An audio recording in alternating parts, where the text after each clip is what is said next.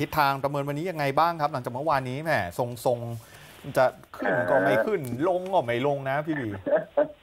ก็น่าจะเหมือนเดิมอะครับครับไม่ไม่น่าจะมีอะไรเปลี่ยนแปลงฮะ นะครับ เพราะว่าเอ่อก่อนหน้านี้เราเด้งขึ้นมาเนาะจากรถพันสามแล้วก็เด้งขึ้นมาพันสามร้อยี่สิบก็รับข่าวเรื่องของการจัดตั้งกองทุนไทย ESG นะครับ ขยายอ่าวงเงินในการครับ อ่าประหยัด ภาษีได้จากแสนหนึ่งไปเป็นสามแสนก็คาดว่าจะมีเม็ดเงินประมาณหมื่นสองหมื่นล้านอะไรก็ว่ากันไปนะครับแล้วก็มีมาตรการอื่นๆนะครับเกี่ยวกับการ short sell เข้ามาก็ทำให้ตลาดเนี่ยได้ได้ได้ได้น้ำได้เนื้อขึ้นมาบ้างนะครับแต่ว่าตอนเนี้ยพอหมดข่าวตอนนั้นปุ๊บเนี่ยเราก็เข้าสู่โหมด wait and see ก็คือตลาดก็เริ่มรอปัจจัยที่จะมีผลกระทบกับตลาดหุ้นในระยะข้างหน้าต่อมานะครับ ซึ่ง จริงๆไม่ใช่เฉพาะตลาดไทยอย่างเดียว ตลาดหุ้นต่างประเทศก็เป็นด้วยเหมือนกันครับ เพราะว่าตอนนี้สินทรัพย์ทุกอย่างเนี่ยดูเหมือนจะปรับตัวลดลงมาหมดเลยนะครับ ในสหรัฐอเมริกาทองคงทองคำน้ำมันอะไรเนี่ยมียึดขึ้นอยู่อย่างเดียว ก็คือตัวอดอกเบี้ยนะครับของสหรัฐอเมริกา แล้วก็ตัวค่างเงินดอลลาร์ที่แข็งค่าขึ้น แสดงว่าทุนก็เริ่มหันมาถือเงินสดมากขึ้นนะครับ แล้วก็เวนแอนซีว่าจะเกิดอะไรขึ้น แต่อย่างไรก็ตามเนี่ยผมผมยังมองว่าตลาดหุ้นไทยยังขึ้นได้อยู่นะครับครับอ่าในช่วงสัปดาห์นี้สัปดาห์หน้านะครับหรือว่าจริงๆก็เดือนหน้าด้วยซ้ำเพราะว่าสิ่งที่ผมคาดหวังคือ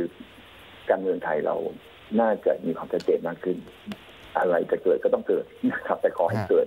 ให้เห็นเถอะนะครับขอจะให้ได้ชัดรู้ว่าเป็นยังไงอ่ายกเว้นว่าอย่ามียุบสภานะ อย่าครับมีรัฐประหารนะ อยากให้งบปี 68 เนี่ยมันผ่านได้ ถ้างบปี 68ผ่านได้เนี่ยเศรษฐกิจเอ่อ ครึ่งหลังของไทยเราก็จะดีขึ้น แล้วก็ดีถึงปีหน้าด้วยเพราะจำนวนนักท่องเที่ยวก็จะเข้ามา ตรงนี้น่าจะช่วยสนับสนุนตลาดหุ้นไทยได้ในช่วงที่เหลือของปีรวมถึงเงินจากกองทุนที่จะเข้ามาในช่วงปลายปีด้วยนะครับดังนั้นจากนี้ไปอาจจะมีการไซด์เวย์ขึ้นขึ้นลงลงบ้าง แต่โลเดิมน่าจะเอาอยู่นะครับหนึ่งสองแปดศูนย์น่าจะเอาอยู่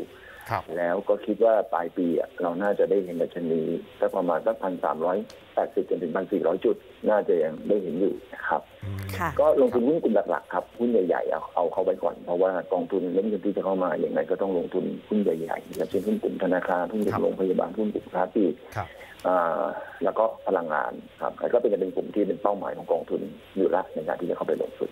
ครับอืมอ่าทิ้งทวน ไตรมาสสอง window dressing ประเมินเรื่องนี้ยังไง แล้วก็มันมีประเด็นข่าวเรื่องของการแขวนงบดิจิทัลวอลเล็ตด้วยดูเหมือน จะสะดุดหรือไปต่อได้ยังไง พี่วีมองสองเรื่องนี้ยังไงครับรวมถึงขอหุ้นแนะนำด้วยครับ เรื่องเรื่องเรื่องของตัว window dressing เนี่ยจริงๆเอ่อจากในอดีตนะครับสัปดาห์สุดท้ายของเดือนมิถุนายนเนี่ยตลาดหุ้นมักจะขึ้นนะครับ ซึ่งแต่ผมก็ไม่แน่ใจว่ามันขึ้นมาแล้วหรือยังนะเพราะมันขึ้นมาแล้วครับอ่าผมว่ามัน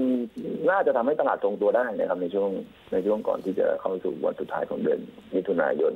ส่วนเรื่องดิจิ t a ลวอลเล็ตเนี่ยผมผมไม่ได้เอามาเป็นประเด็นนะครับ เพราะว่าจริงๆ ผมว่าถ้าไม่มีเนี่ยยังไงเศรษฐกิจปีนี้ก็น่าจะ 2.6 ปีหน้าก็น่าจะโตได้3นะโดยไม่ต้องใช้ดิจิ t a ลวอลเล็ตครับการใช้ดิจิ t a ลวอลเล็ตบางทีอาจจะเป็นความเสี่ยงที่นักลงทุนต่างประเทศไม่ชอบก็ได้นะครับอืมตรงนี้ก็เป็นจุดหนึ่งที่ผมไม่ได้ไม่ได้ซีเรียสเท่าไหร่นัก แล้วก็ถ้าเรามองกันจริงๆเนี่ยเดี๋ยวเดือนนี้ผมประกอบการไตรมาสสองก็จบแล้วใช่ไหมใช่เพราะคฉะรับนั้นเดี๋ยวก็จะมีการประกาศประกาศผลประกอบการ ไตรมาสสองออกมา ซึ่งต้องบอกนิดนึงก่อนว่า มันก็จริงๆไตรมาสหนึ่งที่ออกมาเราเห็นแล้วล่ะว่าตัวเลขเศรษฐกิจมันแย่ แต่กำไรของบริษัทจดทะเบียนเนี่ยเขาไม่ได้ออกมาแย่นะครับอืมอ่าผมคิดว่าเราจะเห็นภาพเดียวกันครับไตรมาสสองเนี่ยเศรษฐกิจไทยเราดีขึ้นนะเมื่อเทียบกับไตรมาสที่หนึ่งนะครับอ่าอย่างน้อยงบประมาณก็เข้าครัมาบบางส่วนแหละแล้วก็เชื่อว่าไตรมาสเชื่อว่าไตรมาสสองเนี่ยกำไรก็น่าจะยังคงออกมาดี นะครับค่ะอ่าแล้วก็จะเป็นปัจจัยสนับสนุนอ่าให้หุ้นปรับตัวขึ้นได้ แล้วก็ที่สำคัญพอเข้าสู่เดือนหน้าเนี่ยจะเริ่มมีการประกาศอ่าจ่ายปันผลครึ่งปีแล้วนะครับนะครับ ซึ่งอันนั้นก็จะมีการเก็งกำไรในหุ้นที่มีการจ่ายปันผลดีๆ ด้วยเพราะตอนนี้หุ้นไทยเราถูกมากนะครับค่ะหุ้นหลายตัวเนี่ยปันผล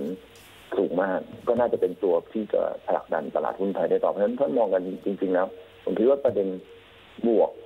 สำหรับตลาดหุ้นไทยนะค่ะอ่าดูรวมตลาดรวมแบบประเด็นต่างประเทศด้วยเนี่ยดูน่าจะมีประเด็นบวกมากกว่าประเด็นลบอะครับอืมยังมีความหวังอยู่ค่ะครับ